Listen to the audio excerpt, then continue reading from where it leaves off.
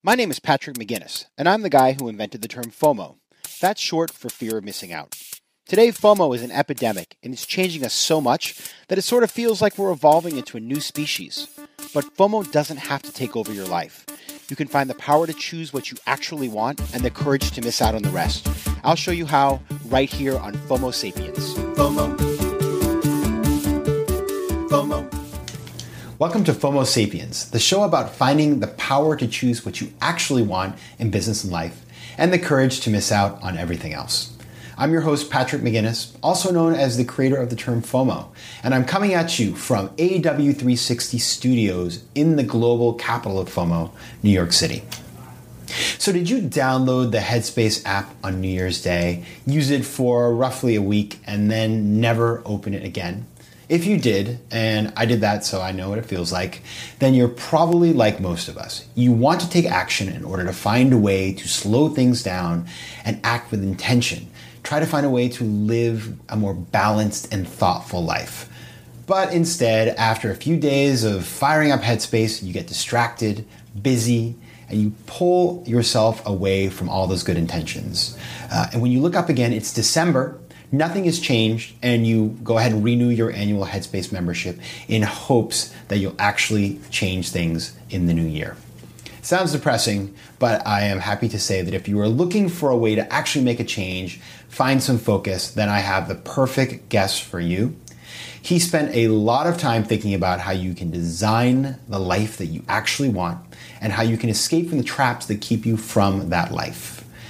Khe Hy is the author of Rad Reads, a guide for professionals on how to live an examined life. He is also a contributing editor at Quartz at Work, an edition of the site that is focused on being a better manager, building your career, and navigating the modern workplace.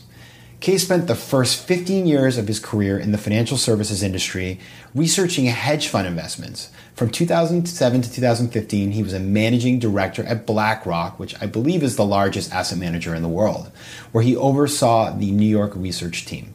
Khe graduated from Yale with a BS in computer science. Wow. Um, and he's here in the studio with me, so welcome, Khe. Thank you. It's a pleasure to be here.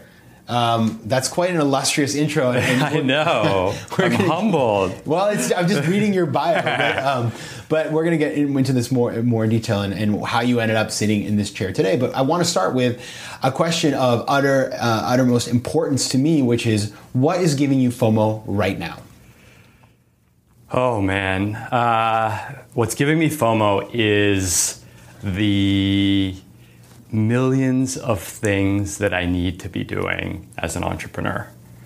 And so, as a solo entrepreneur, uh, you know, you glamorize the freedom, you glamorize the control, you glamorize the fact that I can pick up and move to LA in three weeks, which I'm doing.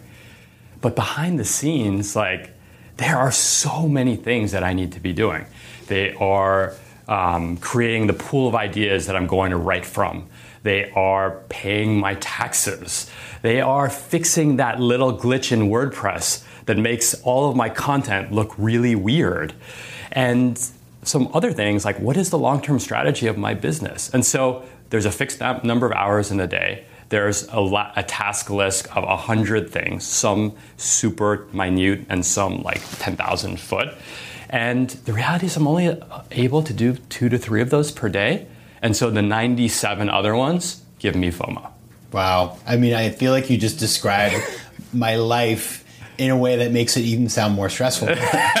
we had a funny situation today. So, uh, for the benefit of the audience, you were yeah. you, it's now I guess we're taping at about three o'clock in the afternoon. You were going to be here at ten o'clock, and then I I overslept, so I actually just everybody had a rough morning. Yes. But when I woke up, I had all these messages from you that you be, you were up all night with um, a sick child and with a lack of air conditioning, which I can tell you this is summertime in New York yes. City. It's rough, and I it occurred to me as I read all your texts, and you were very you're very good about keeping me posted on where you were. And I got like one one email at a certain time of night saying like I'm hoping to get some sleep. Another saying, listen, I'm actually really tired. I don't think I can come in today. And I thought like part of he's feeling bad because he's hmm. uncomfortable. But then there's some FOMO in there probably too, Yeah. right? Because you're leaving in three weeks. I didn't even know that. Yeah. And you know we've been wanting to do this for a long time. So mm-hmm. so it's funny how when you also when you work for yourself, it's like one thing if you work for a company, you miss a day of work and you like sort of don't get things done. It's mm-hmm. another thing when you're an entrepreneur and you're trying to do things that push your business forward, and because of different unpredictable reasons, you can't do them. Yep, yep. And, and I would say what the thought, the specific thought that's going through my mind as I'm sending you these emails at three in the morning is holy crap. This is a wonderful opportunity to be on an amazing show with my friend to promote, you know, and, and talk about the things that I'm passionate about. And I might miss it. I might screw it up and it might be gone forever.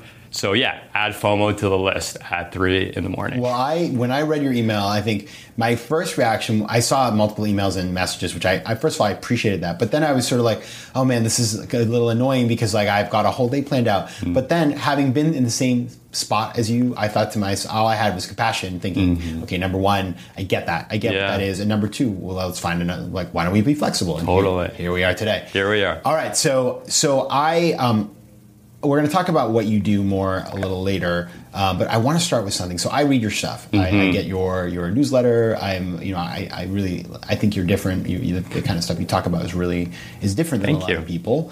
Um, and one of the things you talk about, kind of we I says in the bio, is about living an examined life, which Mm-hmm. I could potentially take a stab at defining. Uh-huh. But considering that you were the expert, what does that mean? Yeah, so I guess the way I think about it is that, you know, I'm 30, I just turned 39. And for the first, um, I worked on Wall Street until I was 35. And since I was like 12 or 13 years old, I had a singular focus on being successful, being on Wall Street, and making money. And I executed on that plan kind of relentlessly for 20 years. But I never asked myself, why do you actually want to be successful? What does success mean to you? And what are you running from something? Like, what are the parts of yourself that you're uncomfortable with? I use the phrase a lot uncomfortable introspection. Um, that you don't like about yourself, that you haven't, re- that are incongruous. What are those things? And I think for men on Wall Street in particular, you're just told like put it in a box bury it deep deep deep in your soul cover that box and hope that it never and work harder. yeah It's like, yeah, don't focus on that. Just keep working. exactly and so that is an unexamined life and uh, socrates had said an, un- an unexamined life is not worth living and that's actually where I got that um, that tagline for for Rad Reads. And so I, it took me a while, but you know, 35 years later, I said to myself, you know what? All this time, I've let other people define success for me. Not only that, but I haven't defined it for myself. And then when I so I see, like take the time to say what does success mean to me. Take a time to say what is wealth. Take the time to say like how do I actually want to show up as a father and a husband these are they sound like very mundane questions but i challenge you and your listeners like how many time how, how many people have carved out an hour two hours per week to answer these questions? And the thing is and this comes back to FOMO we're so good. We are so good at podcast and social media and reading books and speed reading and all that stuff. Like that is like our, our machinery you know? Like we are like tip top shape when it comes to that. Inside though we're like emotional couch potatoes we don't know what to do. We just sit on the couch all day and eat doritos. And that imbalance i think is a, like a huge source of, of human suffering. That and i try to tap into that for myself and then share it with others.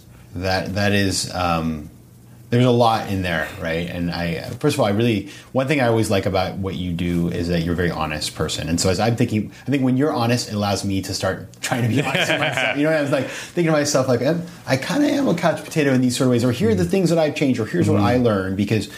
Many people, and I, I think both of you and I are examples of this, are people who came up through a system where um, I, I, I don't, I, you know, your, I believe your parents moved to the U.S. from other places. Is that yeah right? uh, child of immigrants yeah Right. uh, cambodia amazing, and and you came into the U.S. and you, if I had imagined, your parents were very much focused on you studying hard, working hard. Totally. Um, my my grandparents were immigrants. My parents really mm. taught us the importance of education, and I was very good at that, and I won. And you won, you know, you, you went to Yale, which yeah. tells me that you're probably a pretty good student, and then you got a very coveted job on Wall Street. I, I have the same sorts of things, and then one day you sort of walk into a wall, and you realize, like, I have done all the things I said I was going to do, and yet there's no perfection in what I've done. You know, I have all mm-hmm. these things, I have all this money, and I'm finding happiness by spending it on stuff I don't really mm-hmm. need. And so you you sort of start to realize these things. And for me, that realization came because I was working at AIG during the yeah. 2008 financial crisis, and my job basically became like kind of went away, and so I had to sort of come to a point of reckoning. Now you mm-hmm. um, decided to leave. You started a company. You, you're doing all kinds of different things. Like, what drove you to make this change, and what are you doing now? What did this turn into for you? Yeah. So what what drove me was, um, you know, I had this great job on Wall Street. Um, I got the promotions. I got the bonuses, and every time something good would happen, I get a surge of happiness I'd be like, yeah, I got this. All this hard work's paying off. And then 10 days later, mean reversion.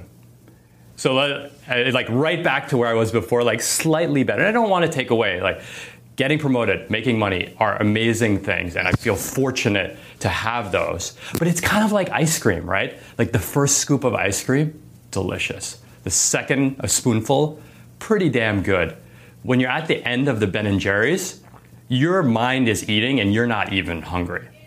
And, and guess what? You feel like crap the next day.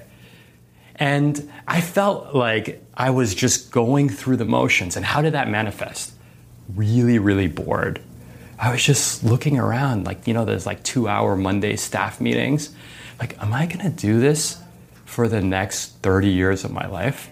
And it was scary because I was like, A, I could, and B, my life would be damn comfortable. And the FOMO, right? It's like, whoa, like people really wanted that seat. So that was one thing. The other thing was that I was an expert, but an expert in the tiniest sliver.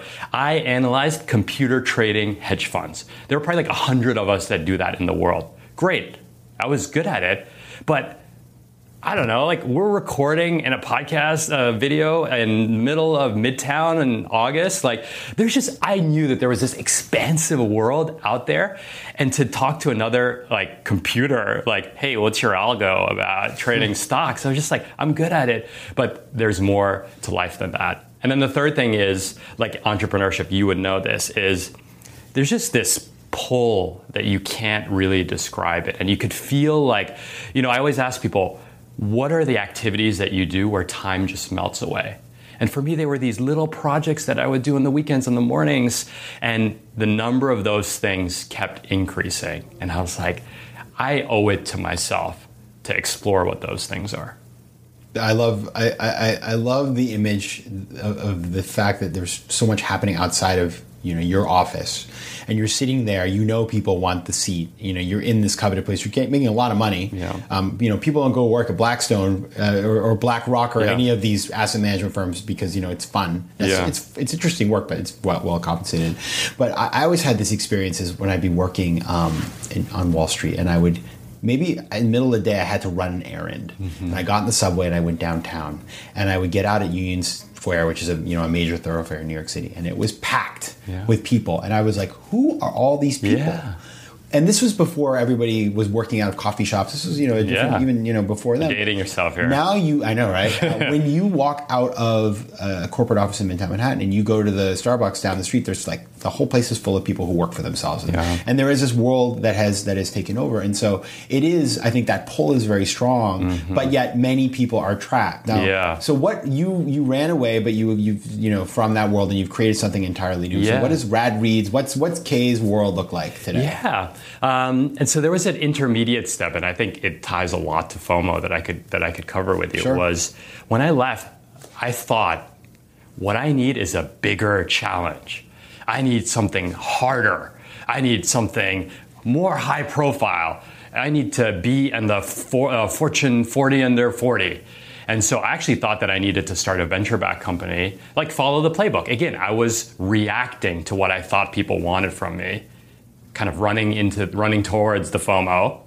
And so I had a, this kind of awakening when I kind of went down this path of fundraising. I'm like, this is not what I want to do. This is not me. And I had had got a taste of freedom and of a different life. Yes. And so And when you when you raise venture capital, you basically just get a new boss. exactly. Um, so you, the, that is another myth that suddenly you know you've got to these be having a bunch of investors who are by the way not the easiest people to deal with that are suddenly telling you what to do Yeah. is basically you know listen there, it, it opens a lot of doors but it doesn't solve the problem Yeah, totally.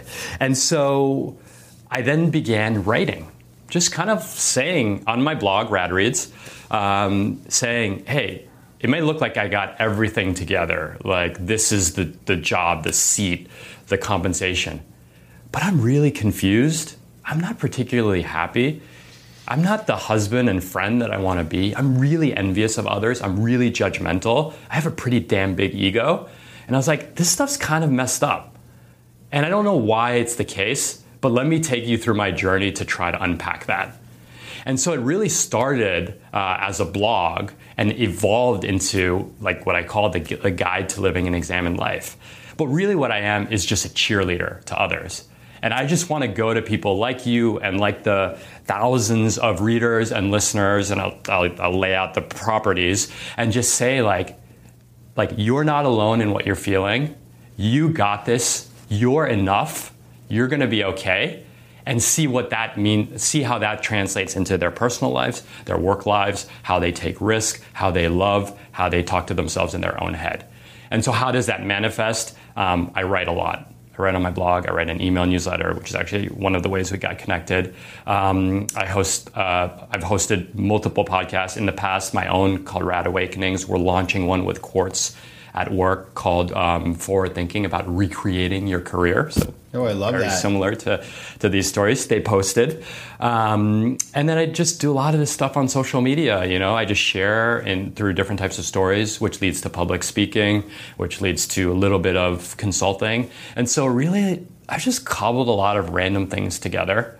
Um, they you know they allow me to live the life that i want to live it's not easy um, but most importantly every day i get to create every day i get to interact with uh, members of, of my community and every day i get to share my journey which in my own way is very therapeutic so there's like a selfishness to it too But it, it, it is it is very honest. Everything you say is honest, but it's also I find I get ideas. So I get the Rad Reads newsletter, and I'll go through it, and it's sort of like you write things of your own, and you're curating. I hate that word. I, let me just unsay that. Um, you are selecting. you're selecting really good content. That's. I think it's very practical stuff that I, we are all buried in content, so I, I, I really enjoy it. Um, I always wonder, and I see this for myself. So I left the corporate world, and I get two reactions from people. Oh, I got three. The 1st reaction I get from people is like, "Wow, your life's amazing! Like you have no masters. Uh, You do your own thing." And you know, and that's the fallacy of that. Of course, is that I still need to make a living to live in a place like New York City. The second is what do you do? People don't understand. It's like, okay, like you cannot be put into a box. And so there are a lot of people that just sort of say, like, I, I don't understand what you do. Yep. And the third thing that happens is um, you will meet somebody and you'll have nothing to talk about because it's like, unless your whole relationship was formed around work. Yeah. And these folks, maybe they support you and maybe they're your friends still, but it's like, if you can't talk about like, hedge fund economics Mm-hmm. and, and by they're probably pretty you're probably not as excited about them Yeah. anymore right you really have little to connect on so like as you've embarked on this journey like Mm-hmm. how has your sort of like connection with the people around you changed Oh man! Uh, so when I uh, when I quit, I got um, sent into like an emotional tailspin when I would get this text message. I probably got like forty times in the three months after I quit, and it was in all caps. What are you doing now? Question mark. Question mark. oh question yes mark. that's terrible It is like a dagger through the heart, Yes. especially because I didn't know what I was doing. Yes. And people who haven't been entrepreneurs see two states of the world you're working or you're on vacation. Entrepreneurs know that there's a messy, messy middle where you're like I mean, I hate to bring in like Ernest Hemingway, but you're like sitting in a cafe drinking wine in the middle of the afternoon, and you're like, that's the thing. And is that work? Yes. Is that play? Like, there's wine involved, so most people would default to it's play. I don't know. You can't define it. But to get that text, oh, I mean, it almost drove me back into getting a job. So that was like the first phase. Um, and then the second phase, I can totally empathize with you, is then describing what to, what you do. I mean, think about how I just described to your listeners. It took me like 30 seconds. Yes. You know, most people are like, give me something that I know, give me a label so that I can like rank you and all that and understand you really quickly. Uh, because I don't want to go to the effort, through the effort to like piece together all the various constituent parts. But here's the thing, and this is where the examine life part comes in, the un- uncomfortable introspection. Are, are your insecurities just projecting that on the person who asks you that? Or is that person actually malevolent and being passive aggressive when they ask you that?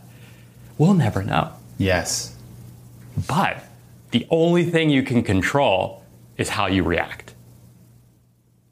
And so, in learning how to control, and I use all these different strategies. At first, I'd be like, I'm fun employed. So, like, I use like a, a laughing too. strategy. I totally did that. And, Wow. and then I use like the portfolio. I was like, da, da, da, da, da. But here's like, here's where the insecurity comes in.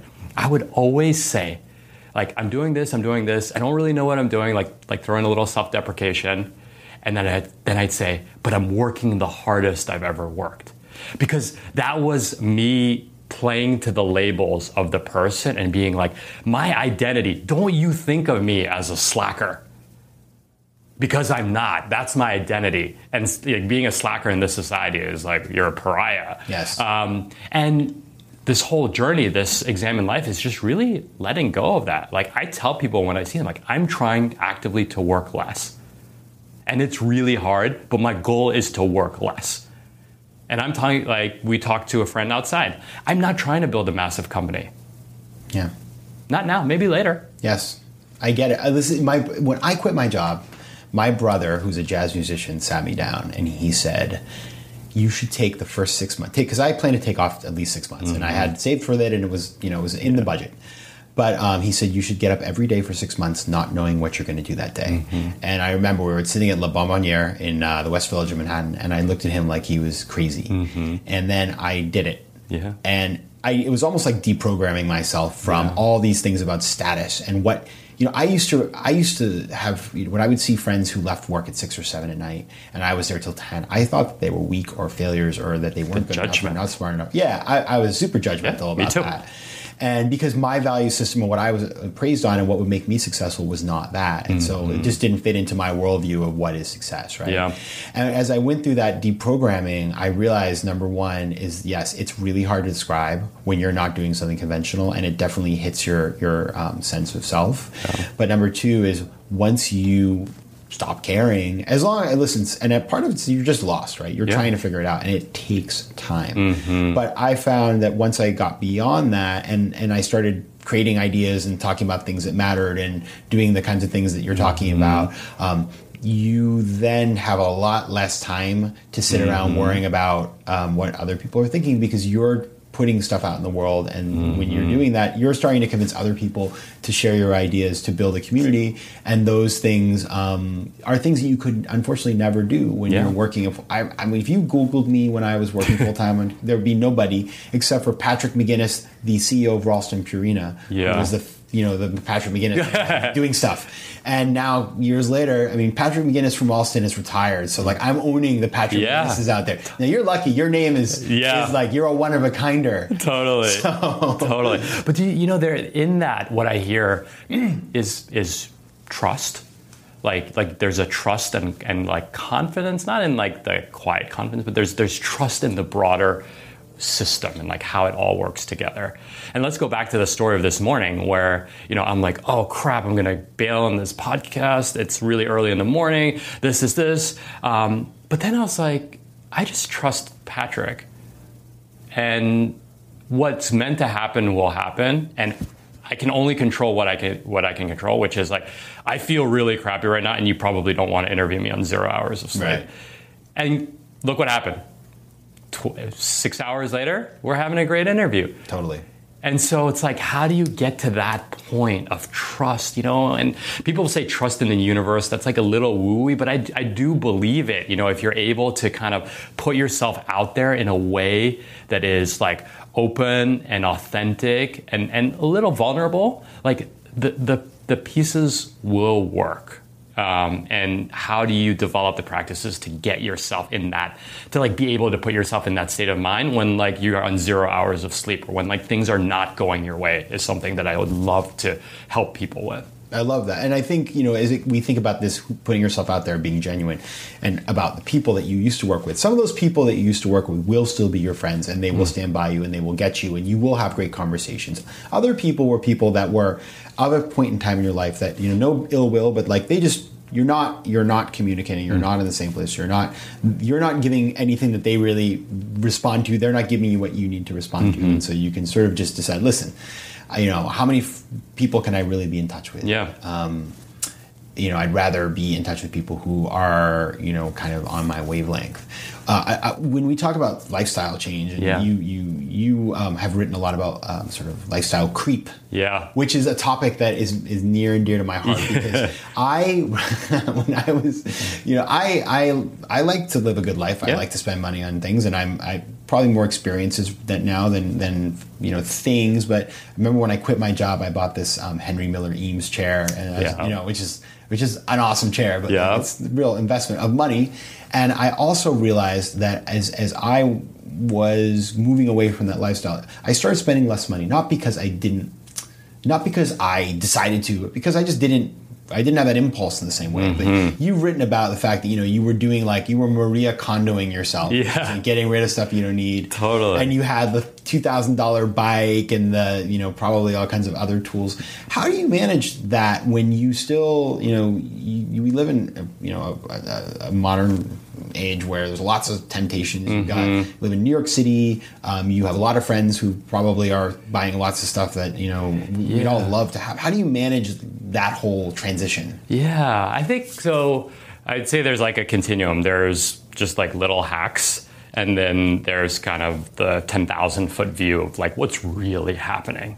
And so I think the 10,000 foot view is more important. And so I'll start with that you know, a lot of the, it's like the ice cream example. Like, how do you get to the razor's edge without going over?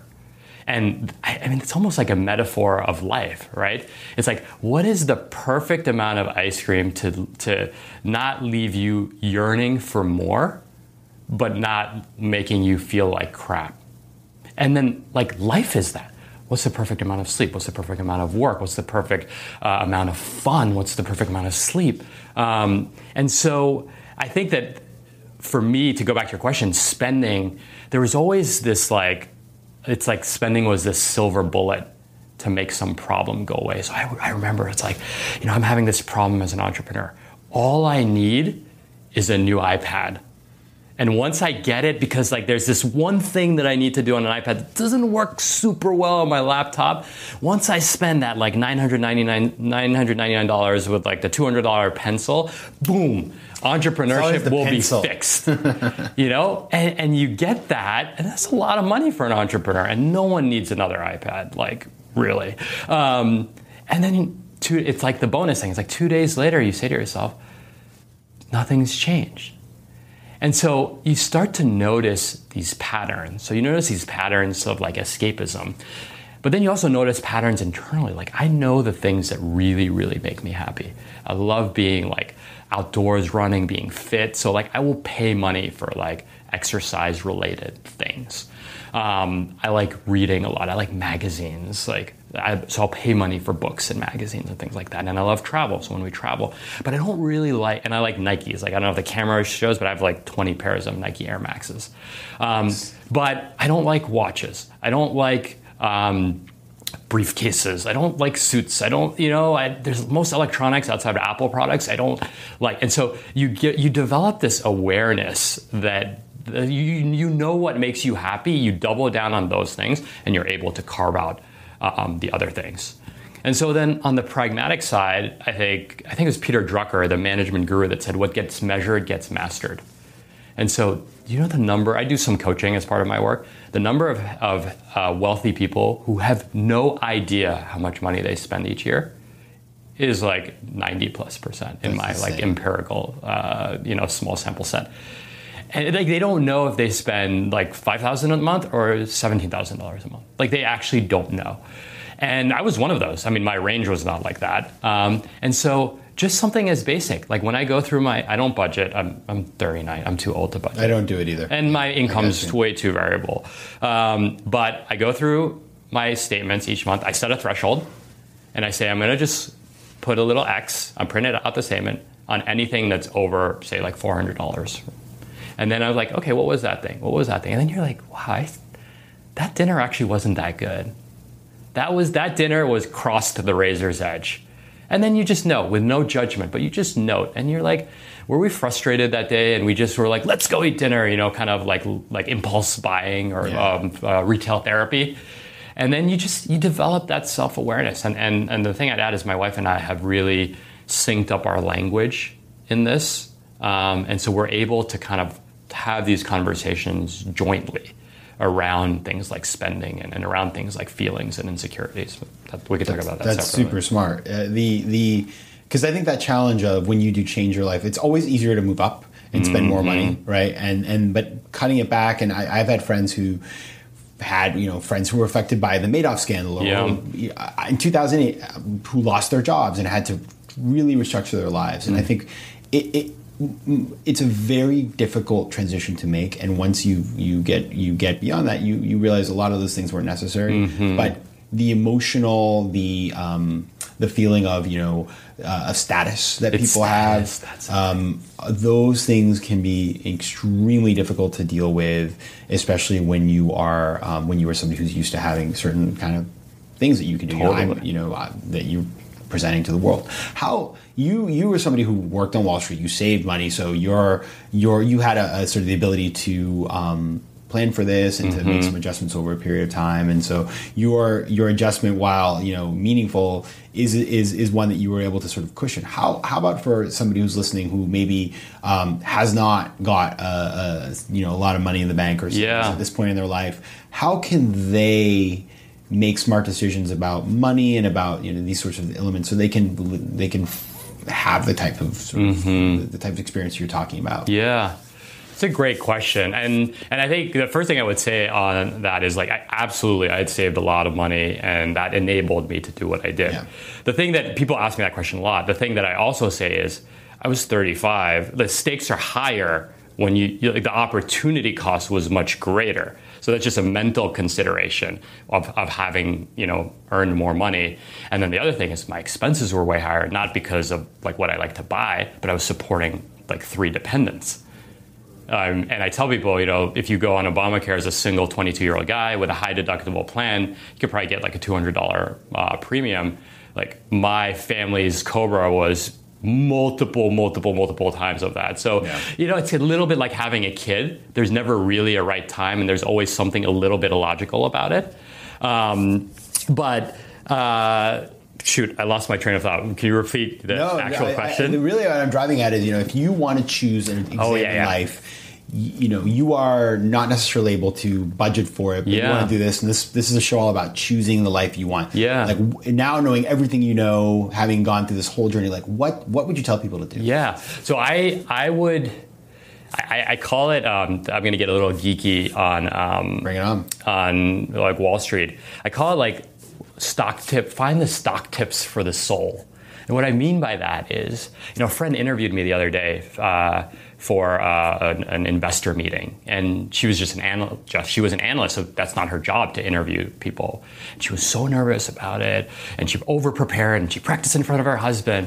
And after she told me, she's like, I've, I haven't felt so alive in doing that since I in doing that. And she's like, you know, I just I'm in Excel all day. And I said, you know, you're so lucky that you saw that little glimmer. Like that doesn't mean you have to be a public speaker. That doesn't mean you have to be a stand-up comedian. But people spend their whole lives looking for those little strands, those stock tips for the soul. And so then I told her, I was like, well, what are you gonna do with that? Doesn't mean quit your job. She actually likes her job. But how are you going to commit 30 minutes, one hour, two hours a week to just pulling at that strand and seeing where it takes you? And, and, and I want to be emphatic that that doesn't mean you should quit your job. You might just find that, like, hey, the hobby that I that has been missing in my life is stand-up comedy. Or I actually should start a podcast. And so pull on these things and it requires intentionality. You need to look, you need to see them. And if you're always like, that guy has the watch and this person has the apartment and this person stays at the Four Seasons, you're just gonna like steamroll through these little moments. Like when your jazz musician brother was just like, look around, like take it in. And then when you take it in, like apply that discipline that you would as an analyst, like create a process around it and see where that takes you. And I think because people are always searching for passion and meaning, and they think it's like like going to Africa and like building a school and quitting their job and like blowing through their savings, like that's one version. There's hundreds of thousands of versions. And to the thing that we were talking about, like creating your own story, like not being able to describe what you do in one word, that analyst has an opportunity to add something else into her story. And then that will lead to something else, and that will lead to something else.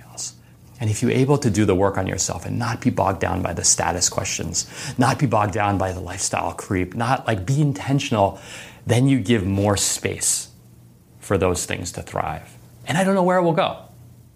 Yes, that's but it will go. That is that is so true. You don't know. You may fail, by the way, but by by sort of maintaining some level of stability, I mean, this is back to sort of 10% entrepreneur ideas. You know, you maintain the stability and try things on the side. Mm-hmm. You avoid, and if you do this earlier rather than later, you are going to be in a better position to do this because I've seen. I, I met this guy recently uh, when uh, a friend of a friend who was working in a job he absolutely hated. He felt like his life was going by him, and he quit. He quit his job. He took his savings and went on. He spent a, week. I don't. I don't know how much he had in the bank, but he basically spent a week at an extraordinarily expensive hotel. And at the end of the week, he was out of money. And so. I know. It's, it was, like either the hotel or the job, the savings. Yeah, I'm not entirely sure. I need I need to work yeah. through that. I mean, I, I, know he had bought real estate, so he had some assets. But yeah. anyway, he basically spent his entire um, sort of savings, his rainy day savings on mm-hmm. this weird sort of not I don't want to say weird it sounds judgmental but this kind of like this I think pretty questionable decision yeah. uh, for one week and then he ended up kind of driving up to um, the state of Maine and just sort of became it's really interesting he just met some people and now he's living there and working up there and I think it'll turn out fine yeah but my thought was like if you had sort of tested some of these things before mm. instead of almost like forcing yourself into yeah. this position by quitting your job and spending all your money. You're forcing yourself to change. Mm-hmm. I, I know somebody else who just gave up their apartment in New York City, they live here as a way of forcing themselves to quit their job. It's sort yeah. of like they don't they don't want to they, they can't get the power to do it, so they're kind of creating all these very uncomfortable yeah. conditions to do it. And it, and I get it, and, and I, I, I, you know I think I'm very sympathetic towards that. But if you can do what Khe's saying and